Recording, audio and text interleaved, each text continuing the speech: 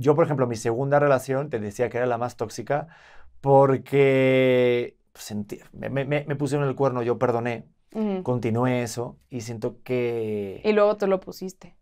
¿O no? No, bueno, igual sí, pero tú qué sabes. Es que ves, estás muy bien contando lo que te hacen, pero no lo que tú haces. Te estoy Ay. viendo. Pusiste el cuerno, Pedro. Joder, me puse las pilas, me puse ahí. Es que como yo fui el último en romper mi capullito, Claro. o sea, fui el último en perder la virginidad de mi grupo de amigos. ok. Entonces yo con 18 solo lo había hecho una vez. Entonces imagínate, y todos ya, jijiji, con esto, con lo otro. Entonces, claro, cuando me, me enteré que me pusieron el cuerno, ¿qué? ¿A mí con 23 años? Y pues claro, entonces hubo muchos breaks y hice lo que quiere y lo que quise.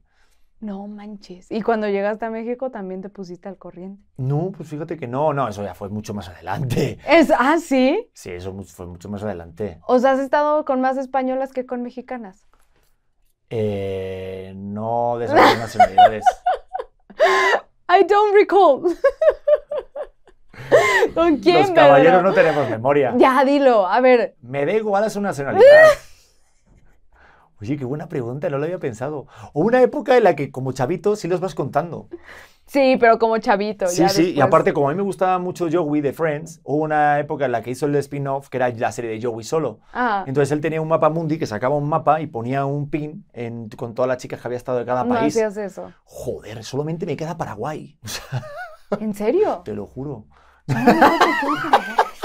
mames, esto sí está admirable, Pedro. Normalmente me encabronaría, pero esto está de huevos. ¿En serio? ¿En serio solo te queda Paraguay? Jo, yo creo que sí. ¿eh? No mames, Pedro. O sea, de, de todo el mundo, no. De No, todo el de mundo, todo el no. mundo no, estoy ah, de Latinoamérica. Latinoamérica. Sí, estoy Bueno, de de América en general. Sí, sí, sí. A ver, Mira, Brasil, tengo que decir que a mí en lo sexual un poco me decepcionó. Argentina, muy bien, cumple con todo. por Todas eso son campeones del mundo. México, excelente. Excelente es que te servicio, cinco puedo decir, estrellas. Estoy casado con una de ellas, que es una cosa que que, es... yo ni siquiera voy a blofear porque luego dicen así, güey, ¿por qué estás diciendo de, de qué presumes y te diré lo que careces? pero es verdad, es que cada vez estás más guapa y yo tengo una... Estamos sin llenadera. Es una cosa que Eso es sí, que eso sí, te lo, te lo concedo. no, no se si nos acaba. dejan solos un ratito, aquí se arma en la parejita. Eh, Uruguay, de repente, es un país que sorprende mucho. Tiene cosas como, de repente, dices, es curioso, mira. Chile, Chile, Chile, muy bien. Bolivia. Chile, tengo que No, decir, ya estás mamando. portada de Playboy. No, claro que no. Te lo juro. Enséñame, enséñame. No puedo decirte. Enséñame. No, ahí Ay, está. Enséñame, te estás poniendo nervioso, quiero verla. Sí, sí. Enséñame. Fue de esas cosas que de repente vas a los grupos de amigos y dices, miren chicos, de aquí soy, me retiro, fue un placer conocerlos, mira, con quién esta chica estuve.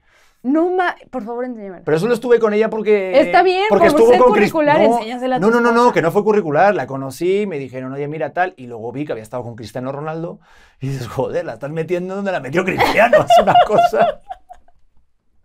Sí estuvo con Cristiano. Sí, me dijeron, No sí. mames, estoy a dos personas de Cristiano.